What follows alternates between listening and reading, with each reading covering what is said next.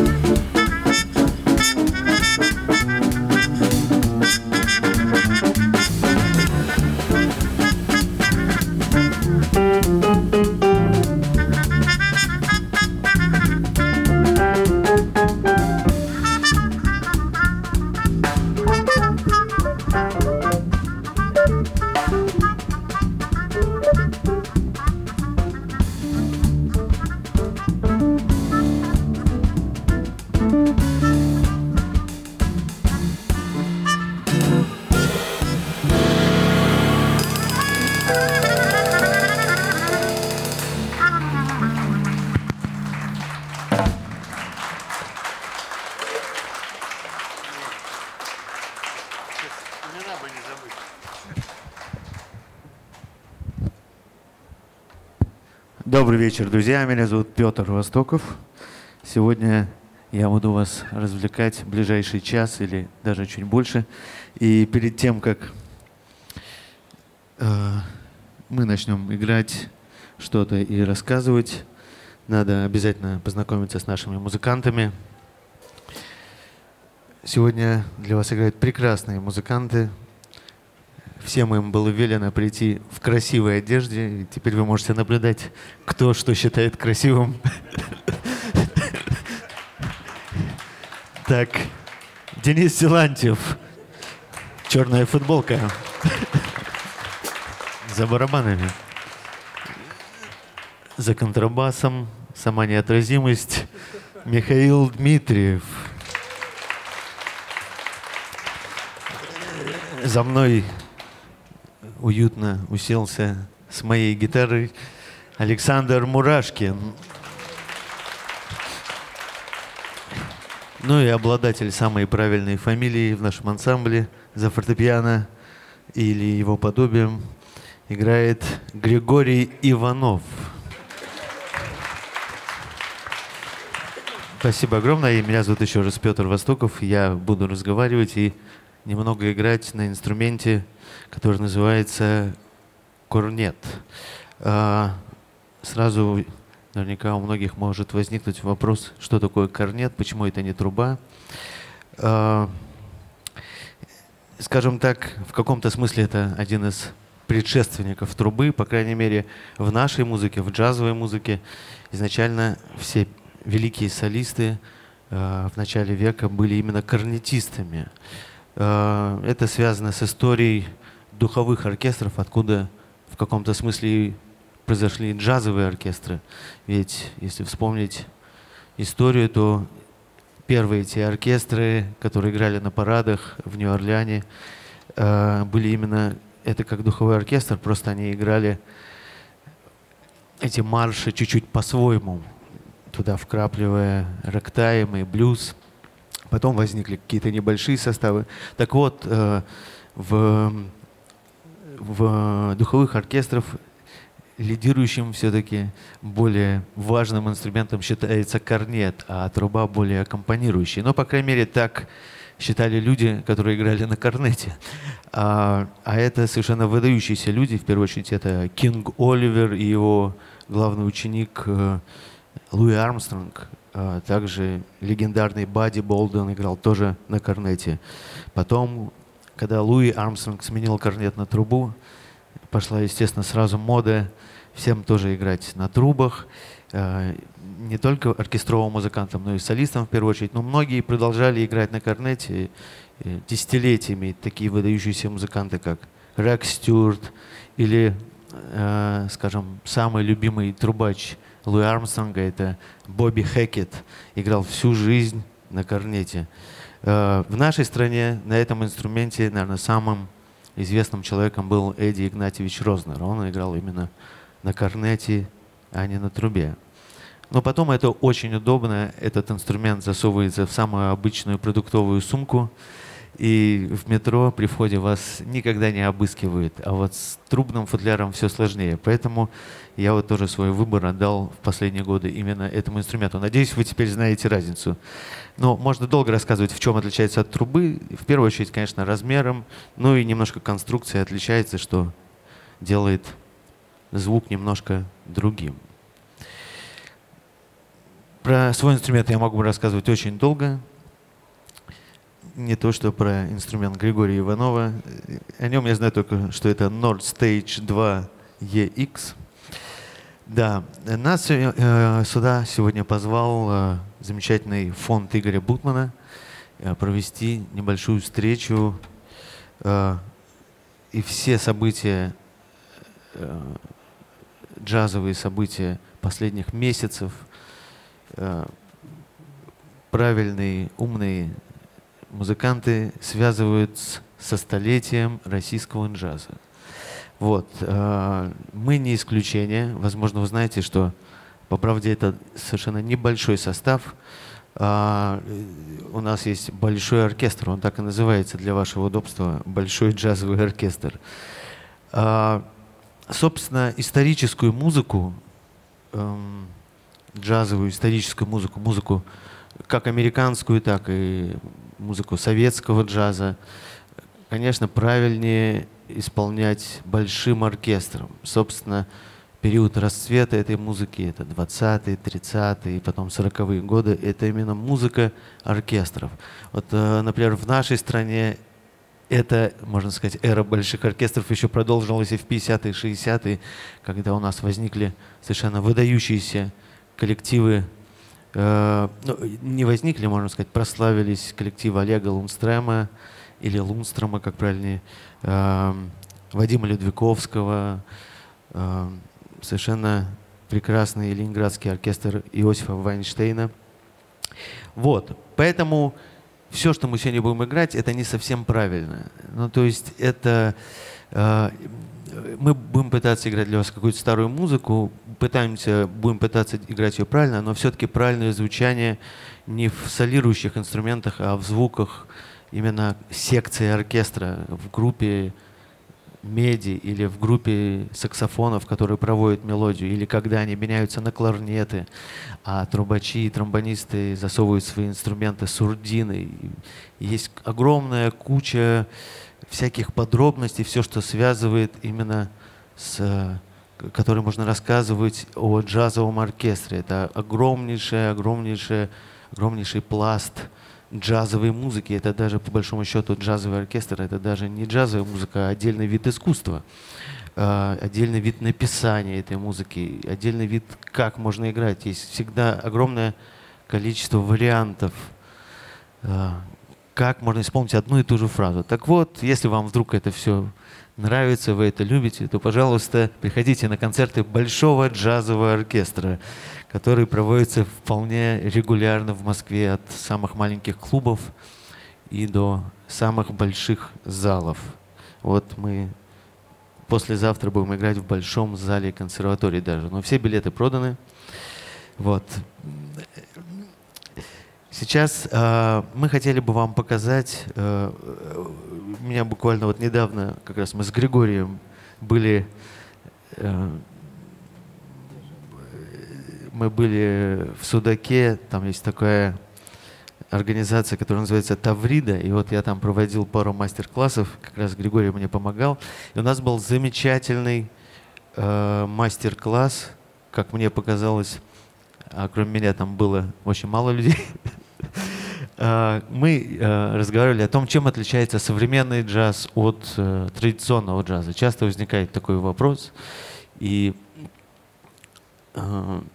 Конечно, в таком, э, в таком составе мы можем только показать вам разницу звучания э, одной и той же музыки, как играет ритм-секция, как бы она играла в 20-е, как она бы играла в 30-е, а как она играла бы в 60-е. Э, если вам интересно, мы можем это показать.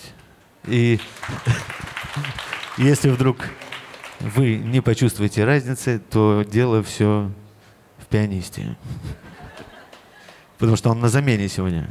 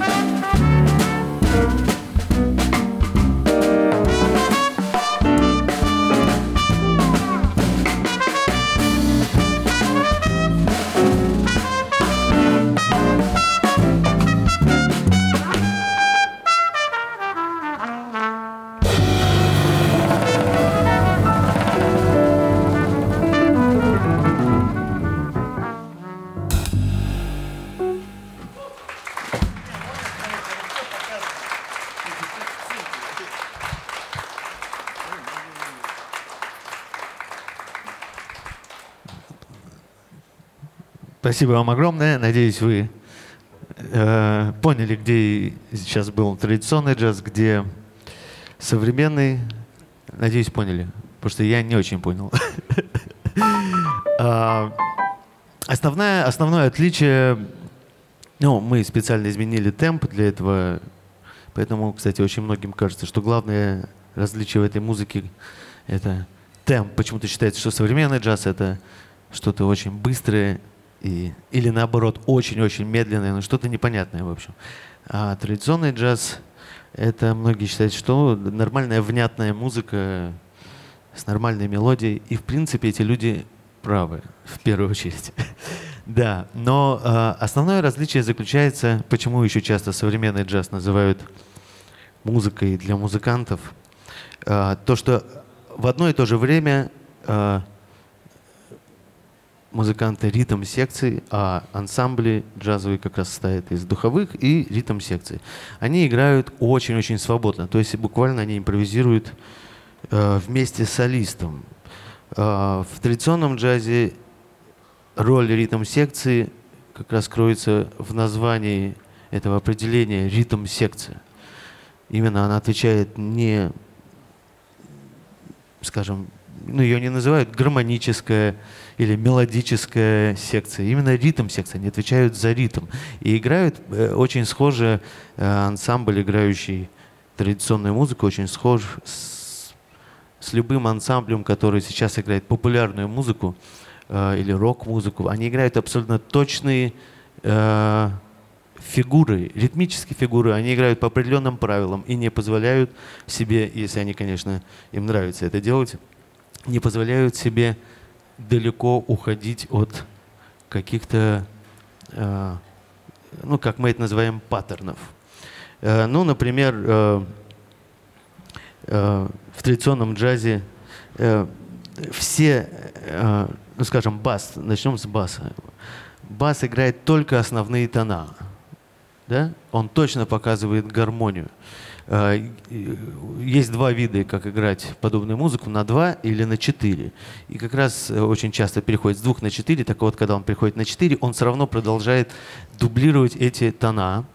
Э, а скажем, в, в современном джазе контрабасист начинает играть так называемую линию. Естественно, это произошло не в один момент, а развивалось со временем, но вот как раз где-то к середине 40-х годов, благодаря усилиям таких басистов, как Джимми Блентон, Оскар Питтифорд, э, басист начал э, импровизировать во время чего-то соло. То есть он играет определенную мелодическую линию, которая даже может...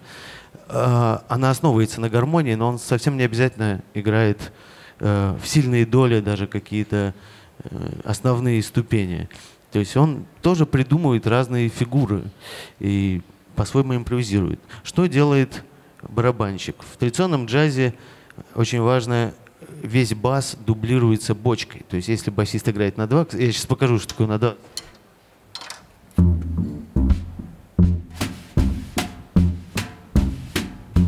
Это на два. А сейчас будет на четыре.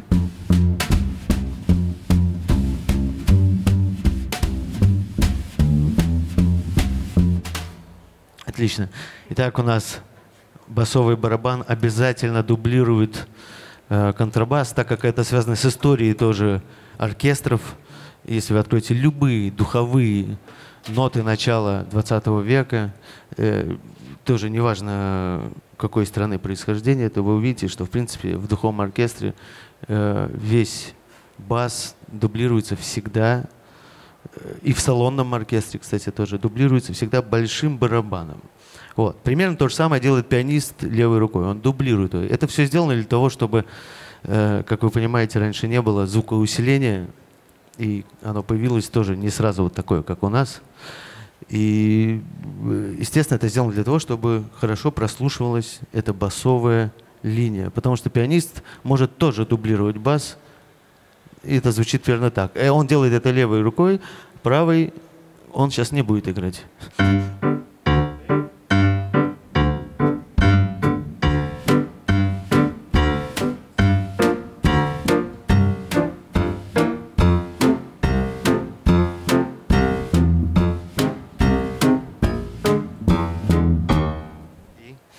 А, очень важна ритм-гитара в традиционном джазе практически ни один ансамбль, а ни один оркестр не обходился без ритм-гитариста, который играет точно так же, э, дублирует, если, например, на 4 играют ребята, он точно так же дублирует, э, э, дублирует все эти четыре доли. И когда играют на два, он больше отталкивается, наоборот, подчеркивает тогда вторую четвертую долю в противовес первой третьей, или наоборот присаживается на первую и третью в быстром темпе. Например, это звучит примерно так.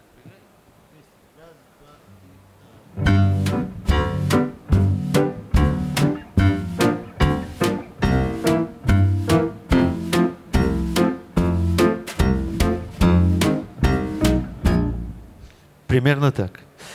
А, у барабанщика здесь совершенно огромное количество выбор, а, а, выбор, эм, есть такое понятие, как э, э, основной, куда ведется основная ритмическая канва на барабанах. И у него здесь, в современном джазе, как вы знаете, это обычно э, большая тарелка. Вот. Но, к сожалению, очень часто барабанщики не пользуются всем разнообразием, что у них есть, и, как правило, основной ведущим инструментом у них является тарелка. Но в традиционном джазе э, у него есть, а, было огромное количество у барабанщика э, куда он мог ввести, играть основную ритмическую фигуру. То есть, например, он играет в бочку, дублирует бас, а играть он может э, и в малый барабан, и в, э, по ободам, и есть несколько способов, как играть с хай-хетом.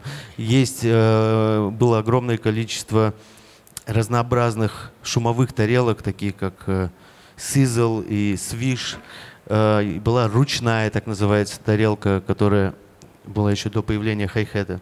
Ну, и там он может играть основной рисунок в, э, в напольный том. Огромное количество всего. Вот сейчас вы можете, кстати, э, сейчас Денис Силанти вам покажет, как можно играть на барабанах.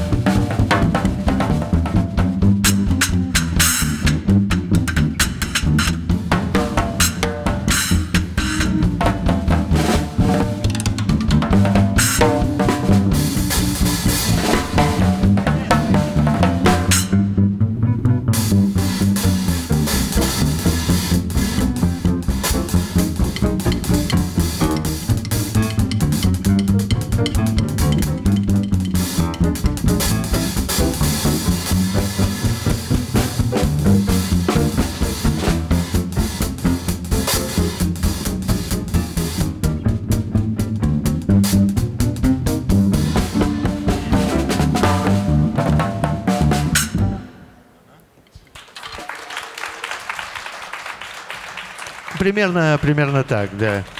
Э, и все это в один момент разрушилось появлением э, современного джаза, можем сказать так.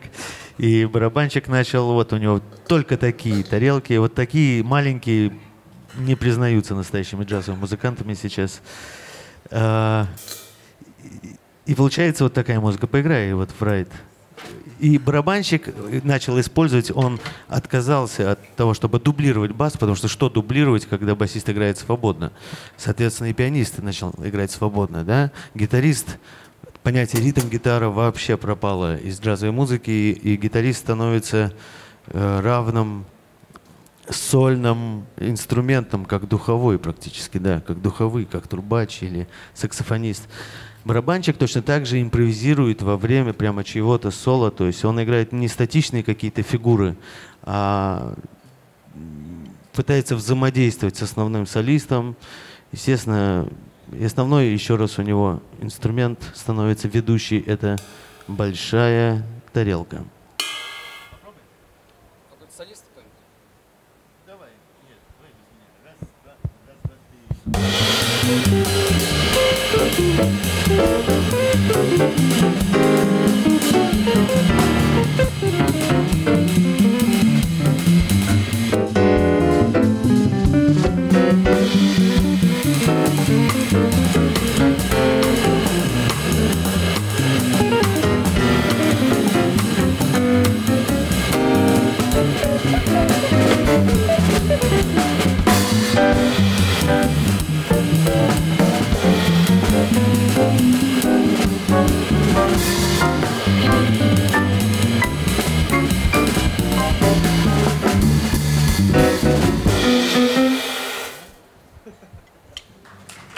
Примерно, примерно все правильно. Э, поаплодируйте, пожалуйста, нашим музыкантам. Они так это любят. Денис Силантьев.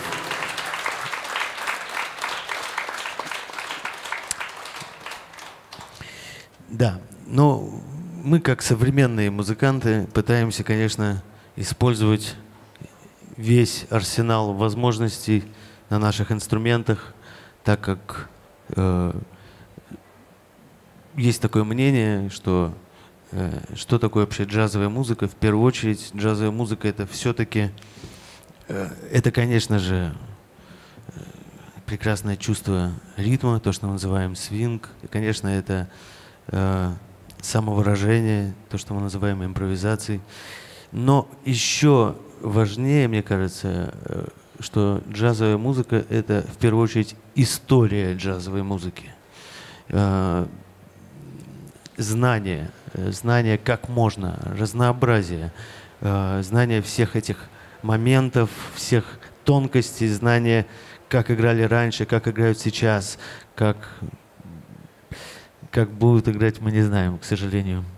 А, поэтому мы с большим джазовым оркестром пытаемся играть совершенно разную музыку, использовать все разнообразие, потому что, к сожалению, надо признать, что для большей части аудитории, людей, э, джаз э, достаточно скучен.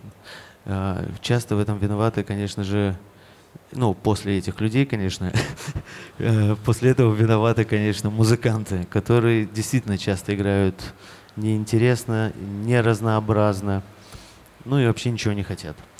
А, мы сейчас, надеюсь, вам это понравилось и вообще кто-нибудь что-нибудь понял, потому что э, кроме как о музыке мы разговаривать, к сожалению, не умеем. Можно, кстати, перейти сейчас на другую тему, а может быть какие-то вопросы у вас возникли, мы с радостью ответим на них, потому что это гораздо проще, чем придумывать на ходу, что же сказать.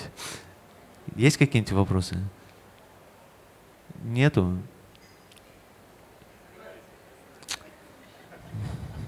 Ладно. Хорошо.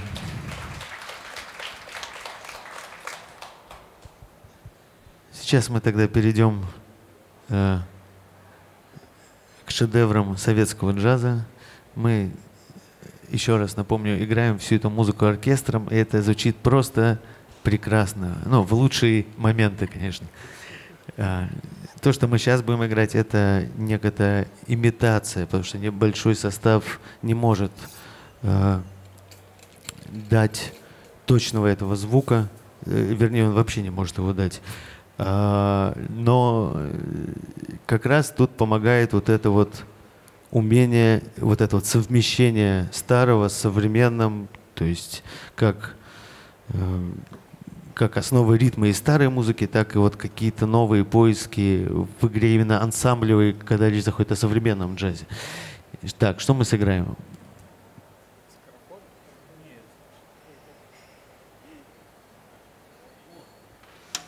Конечно же, мы сыграем для вас сейчас композицию, которая выручает весь этот год всех российских джазовых музыкантов. Это, наверное, самая известная песня. Написана она совершенно выдающимся музыкантом, а, который сыграл важнейшую роль в формировании и даже в создании а, отечественного джаза. А, это прекрасный пианист, которого звали Александр Наумович Цфасман. Я знаю, что вроде позавчера была здесь лекция, которую вел э, Кирилл Машков. Э, не будем повторяться, рассказывать, что это был за человек. Нет, конечно, расскажем, но гораздо короче. А, вообще, почему важен Цфасман? А, ну, это человек, который сделал некоторые шаги в истории этой музыки первым. И это абсолютно не случайность, потому что тогда это было бы только что-то одно. Он оказался первым в очень многом. Во-первых, Э, может, это забавно, конечно, но он самый первый э, точно именно джазовый музыкант, у которого было профессиональное академическое образование. Конечно, наоборот, он закончил э, Московскую консерваторию и, наоборот, влюбился в джаз. И, то есть э, можно как бы это и не связывать, но спустя пару десятилетий, ну, может, чуть больше, э, иметь высшее образование, классическое образование для джазового музыканта, это стало, ну и сейчас это музыканты высшего уровня, которые с ушами, с знаниями, то есть, а он был первым самым в этом.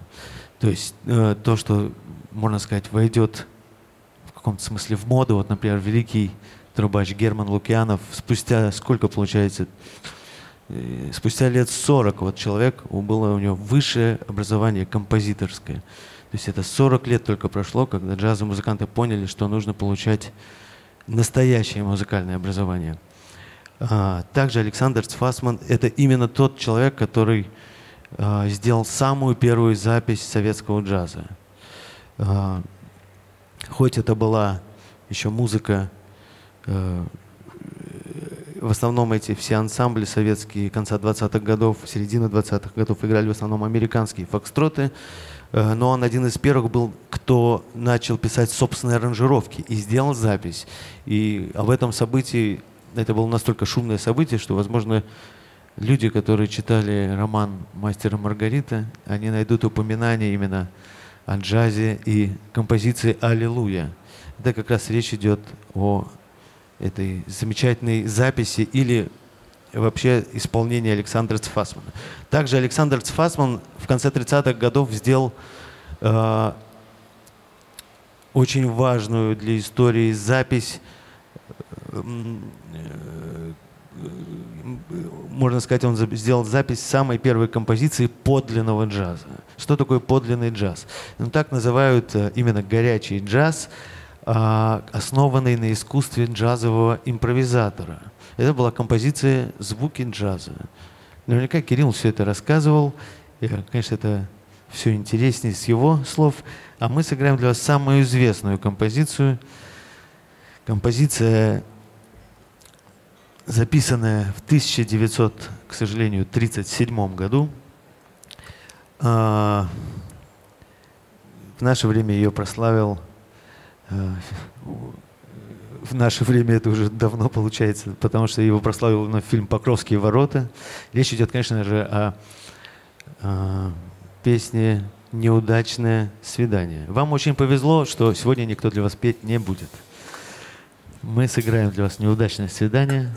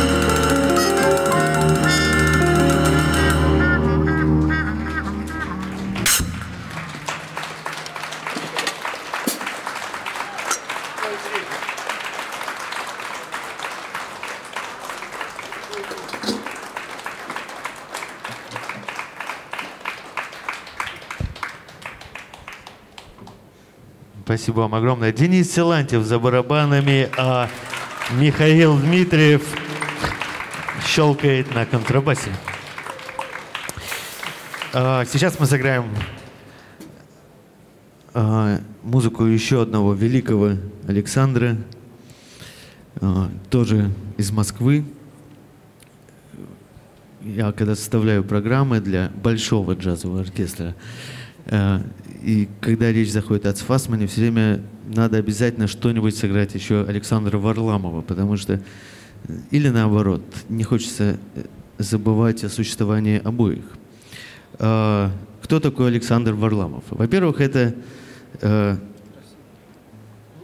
родственник, по-моему, он э, внук или правнук брата того самого Александра Варламова, другого, который написал э, одну из самых известных русских мелодий в мире. Это, я говорю, есть такая песня «Красный сарафан». Возможно, кто-то знает, но это мелодия одна из самых известных, считается, во всем мире – а, во-вторых, наверняка вы все смотрели фильм «Мы из джаза».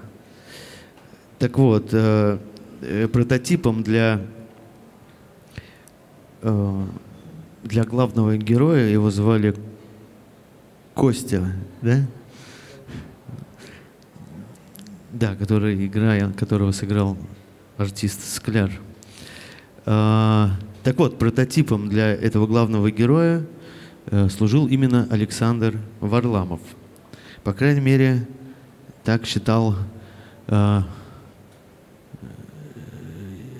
неважно кто. Э, но очень многие, э, вообще весь фильм это набор, э, ну, как сказать, э, всяких различных легенд. Часть из них, большая часть является э, правдой. Просто во многом некоторые герои — это собирательные образы разных э, легенд джаза. Так вот, например, э, если помните, там есть такая э, кубинская э, певица, которая приезжает и спаивает весь ансамбль, а потом уезжает. Звали ее там Целестина Коул. Так вот это реальный персонаж, который Э, которую сыграла в фильме Лариса Дольна как раз. А, это реальный персонаж, ее так и звали, Целестина Кол, и как раз она играла э, с ансамблем, э, с шестеркой или семерка называлась, ансамбль Александра Варламова. А, вот. Единственное, что она была, поправить, никакая не кубинская, а вполне обычная американская певица. И она не была певицей, а находилась в России по каким-то своим э, интернациональным коммунистическим делам. Вот. Ну, естественно, так как она, скорее всего, говорила по-английски, то есть петь могла что-то. И вот Александр Варламов этим хорошенько пользовался. На сцене выпускал настоящую негритянскую певицу. А, а сыграем мы композицию Александра Варламова Э, тоже это главный конкурент неудачного свидания э, в популярности. Э, называется эта мелодия «Уходит вечер». И мы здесь предоставим слово посолировать нашему гитаристу Александру Мурашкину. Не то чтобы он это делает лучше остальных, просто чтобы он не обиделся.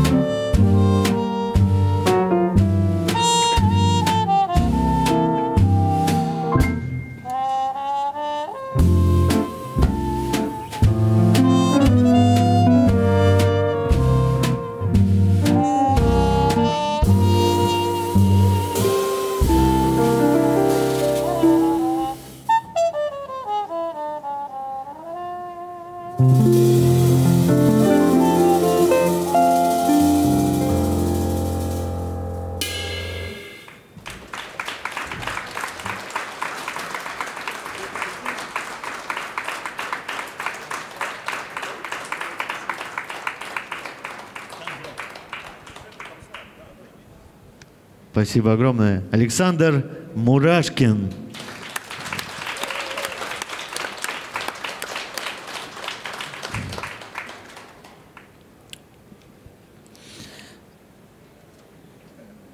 Сейчас мы, наверное, хотели бы сыграть какую-нибудь композицию, связанную с именем Леонида Утесова. А, есть знаменитая байка, как один из э, э, пионеров именно ленинградского джаза, кстати, как и сам Леонид Утесов, напоминаю, он тоже из питерских. А, а, легенда, да, и пионер советского ленинградского джаза Генрих Терпиловский сказал Утесову, э, э, Леонид Осипович, вы хотя бы для приличия могли бы сыграть что-нибудь, чтобы оправдать название своего коллектива. В смысле того, что он использовал джаз практически э, с самого начала, но тут э, уже тогда был спор, что такое вообще в принципе, что правильно называть джазом. Это было в конце 20-х, в начале 30-х годов. Э, потому что для многих э, джазом всегда оставался именно состав, состав э, оркестра. Э, не конкретная музыка, а именно состав. Поэтому говорили, э, играет в джазе. И вот фраза, когда уже в 50-е даже годы вышел э, американский фильм «Некоторые любят погорячее», у нас его перевели как «В джазе только девушки». Имеется в виду в джазе, в джазовом оркестре. В джазе только девушки. А не только девушки играют джаз, а другие не умеют. То есть не это имеется в виду. Так вот, на самом деле Утесов использовал, скажем так, чистый джаз, э, очень дозированно и считал, что эта музыка уже тогда, что в первую очередь это интересует не широкую публику, а музыкантов. Но на самом деле э, его оркестр записал огромное количество, ну не огромное количество, но э, какое-то количество совершенно прекрасных э, номеров именно связанных с, с прекрасной аранжировкой, именно со свингом, то есть все, что отличает настоящий джаз. Э, большинство этих номеров без участия самого Леонида Осиповича, но на этикетке пластинки написано, что, э, там, например, он, его коллектив назывался сначала «Театральный джаз», потом он назывался «Веселые ребята», потом он назывался, наконец, «Государственный э, джазовый оркестр РСФСР». Вот. И сейчас мы исполним одну из таких композиций. Э, на самом деле это очень популярная американская песня. Э, но была такая мода писать, э, снимать американские аранжировки с пластинок, записывать, может что-то изменять, можно ничего не изменять. Эм, придумывать название на русском языке и, или, или вообще текст написать новый текст на русском языке. Ну вот, таких случаев очень много. То есть, например, вот, тот же оркестр Утесова прекрасно просто играет э, такой диксилендовый стандарт «Nobody Sweetheart». Мы его, кстати, играем тоже оркестром нашим.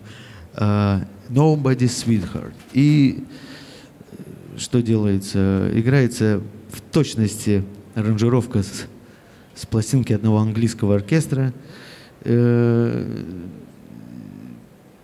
пишется слова, э, такое-то название, а, Nobody Sweetheart, у него это всеми любимые. А, и пишется музыка неизвестно кого, к примеру, там, а слова Лебедева Кумача. Ну, к примеру. Так вот, для его оркестра некоторые песни написали тексты для некоторых его песен Э, его дочка э, Эдит Утесова. И вот как раз сейчас сыграем композицию очень популярную. Она называется «Comes Love». Это большой хит оркестра Арти Шоу в 1939 году был. Эм, И потом, в начале 40-х годов, его записал оркестр Утесова, пела э, Эдит Утесова, и э, аранжировка была, была полная копия с э, записи арти-шоу. Вот. Так, «Comes Love» у нее э, в переводе, в ее литературном переводе э, э, она назвала ее «Нет спасения от любви». Вот. Основана на реальных событиях.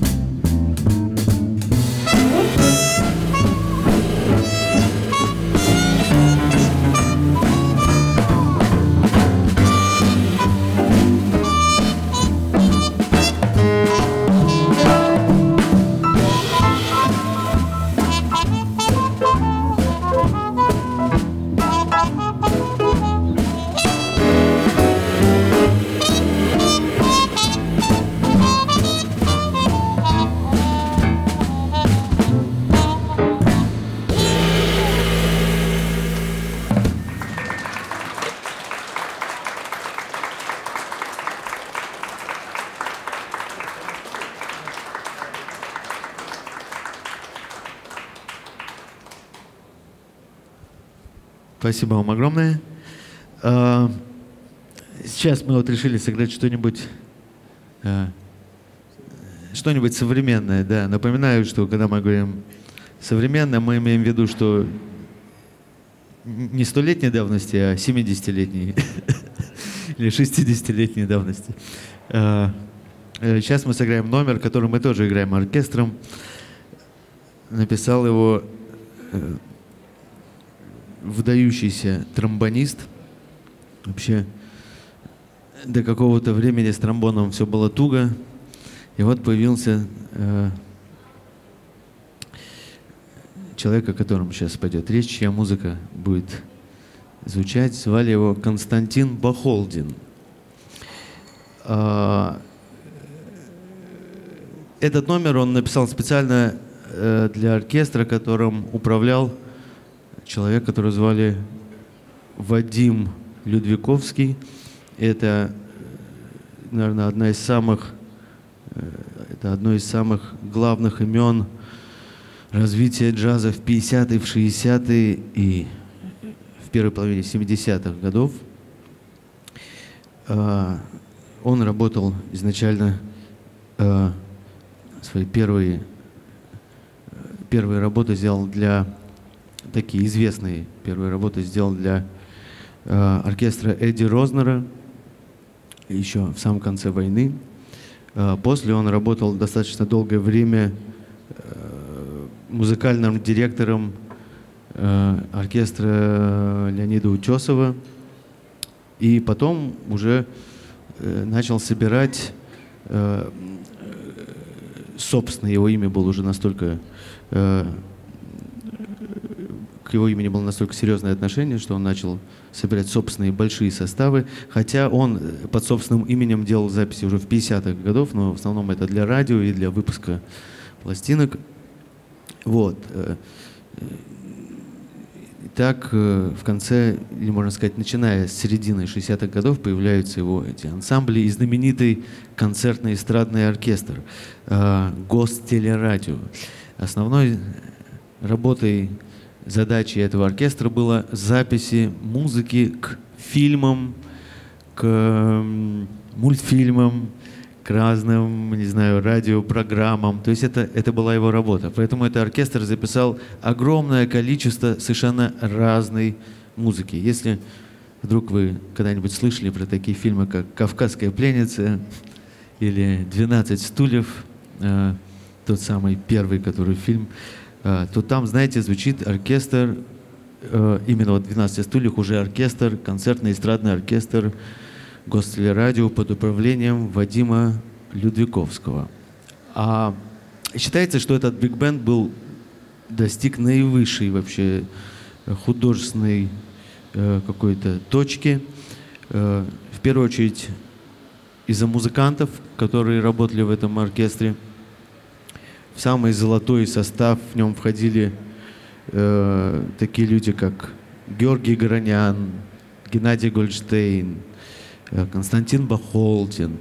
Первую трубу в этом оркестре играл э, Владимир Чижик, Алексей Зубов играл на тенор-саксофоне, Борис Фрумкин играл на фортепиано. То есть это был коллектив э, совершенно выдающихся музыкантов, какой-то определенный момент они все собрались вот под крылом э, Вадима Людвиковского. И именно из этого оркестра, когда он был расформирован, возник ансамбль, которым сначала руководил Владимир Чижик, а потом, ну или практически сразу Георгий Гранян, ансамбль «Мелодия», как раз из музыкантов этого оркестра. А, а мы сыграем для вас композицию Константина Бахолдина, которая была написана специально для одной из серий «Ну, погоди». Это стало, песня, эта композиция стала своеобразным джазовым стандартом. Называется она «Скороходы». Солирует для вас будет в ней за неимением другого барабанщика Денис Силантьев.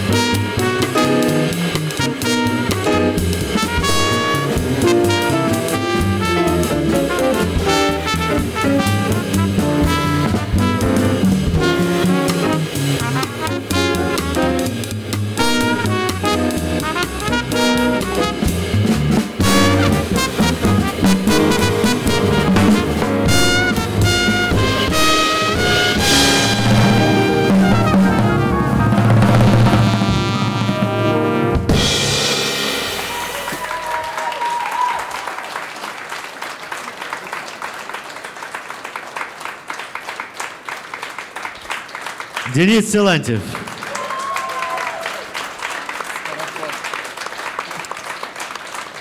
Михаил Дмитриев на контрабасе, Александр Мурашкин на электрогитаре и Григорий Иванов сегодня в смокинге. Спасибо вам огромное. Мы подошли к нашей самой любимой части.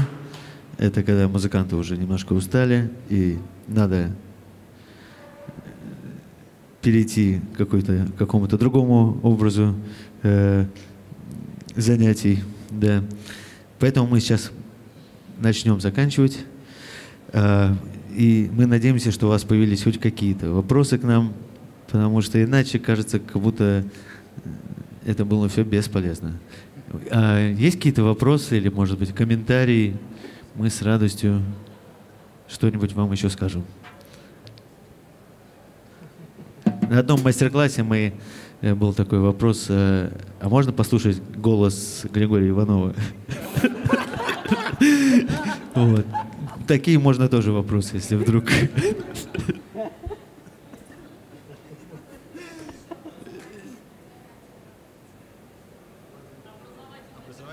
А, образовательные мероприятия. А, вообще, э, вообще, а, я вот 8 лет был старшим преподавателем Гнесинской академии музыки. Потом в один момент это закончилось, э, так как появились другие дела.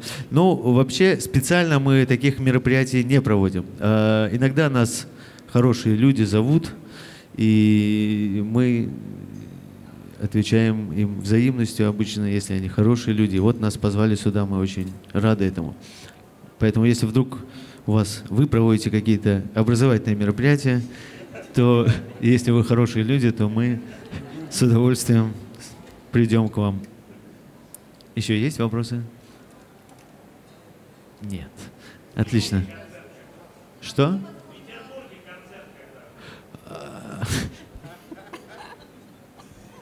А, в Петербурге у нас будет очень хороший концерт. Если вдруг вам нечего будет делать через две недели, ровно, кстати. Да, сегодня, а нет, сегодня вторник. Э, да, ну, в понедельник, через две недели у нас замечательный вот концерт будет. Э, мы делаем, наверное, впервые кто-то вообще это делает, естественно, оркестром. У нас э, мы представим большую программу музыки оркестра Иосифа Вайнштейна. Это совершенно потрясающий ленинградский оркестр, который функционировал, начиная с конца 50-х годов и э, пока Иосиф Владимирович не уехал в Канаду в середине 70-х. Так, еще есть вопросы?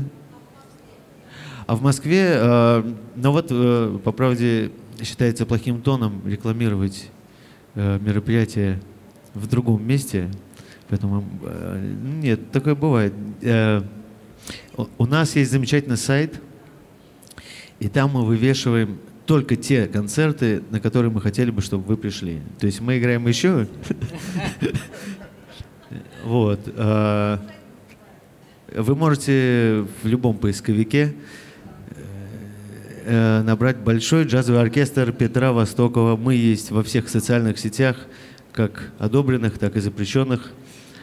Мы есть, у нас есть сайт, э, наши большие концерты э, проходят несколько раз в году в Большом зале консерватории. Вот, э, по-моему, нету. Это концерт послезавтра будет, но у нас будет другой еще там концерт. Он будет 8 э, октября, днем, будет дневной концерт.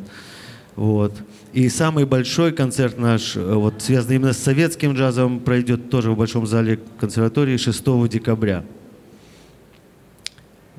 Билетов пока нет в продаже.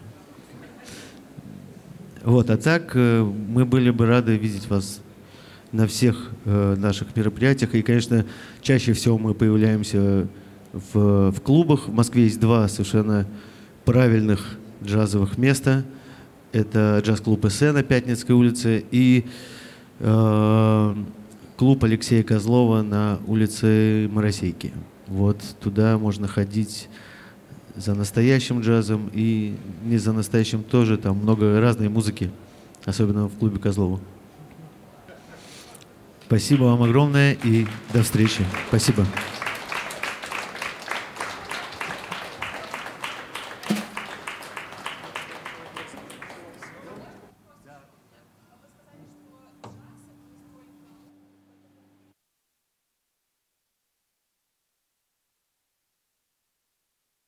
Я сказал ровно наоборот. Просто до определенного э, времени э, джаз считался составом, то есть не сколько музыкой.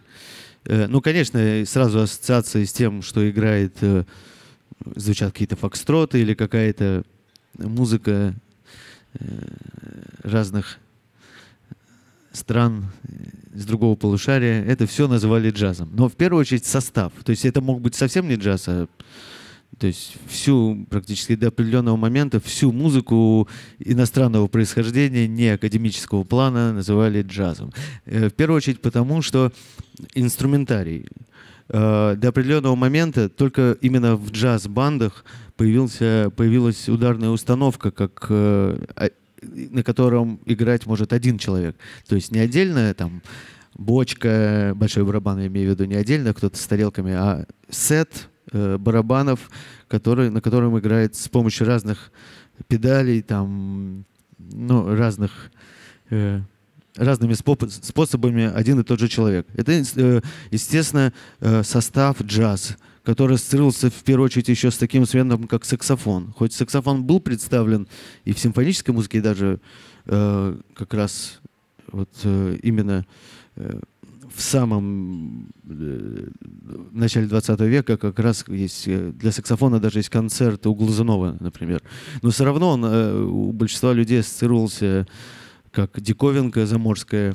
Также появились такие инструменты, как банджо. Вот сегодня Александр играет на банджо, но вот, к сожалению, очень дорогая парковка, и он принес гитару только. А, также гавайская гитара такая был инструмент очень популярный в 20-е годы. А, и вот э, группа, в которой играли вот все эти инструменты, все это называлось джазом до определенного момента. И поэтому возникают некоторые ну, спор это какой же это джаз. Почему это назвали джазом? Вот даже тоже мы большим джазовым оркестром играем. Есть такая э, джаз-свита у Дмитрия Дмитриевича Шостаковича. И многие когда слушают, говорят, что же, что же это за джаз такой, то есть не похоже. А по правде он, э, он написал это произведение именно для джазовой группы, то есть э, для стандартного эм, состава инструментов джаз-банды. То есть э, три саксофона, три медных, и вот ритм группа с, с барабанами, с банджо, ну и, скрипка часто участвовала в этом. Вот. Поэтому до определенного момента джаз это не только музыка, но это еще состав. Вот. С чего? Ну вот э, есть... А что он любит? А. Но я бы посоветовал бы походить на джазовые мероприятия, по правде. В Москве достаточно э, подобных... Не обязательно покупать э, билеты на какой-то там дорогой концерт. Есть вот как я назвал, вот эти вот клубы, где у них есть бесплатные мероприятия, куда и они функционируют не только как концертная площадка, но и как кафе. Можно просто прийти. Вот в ИСЭ, например, мы играем каждое воскресенье дневные мероприятия. Вот, называется бранчи, джазовые бранчи, да. Эссе, эссе на Пятницкой улице. И можно прийти не только и послушать, и, что очень важно, посмотреть, Э, на музыкантов, и станет многое сразу понятно, нужно ему это или нет. Ну, будет интересно или нет. Ну, э, ну и заодно посидеть там, хорошо провести время. Вот. Все. Спасибо вам огромное. И теперь точно до свидания. Еще раз музыканты Григорий Иванов, Александр Мурашкин, Михаил Дмитриев. Денис Силантьев, меня зовут Петр Востоков. Спасибо вам огромное и очень надеемся на скорые встречи, в том числе и здесь. Спасибо.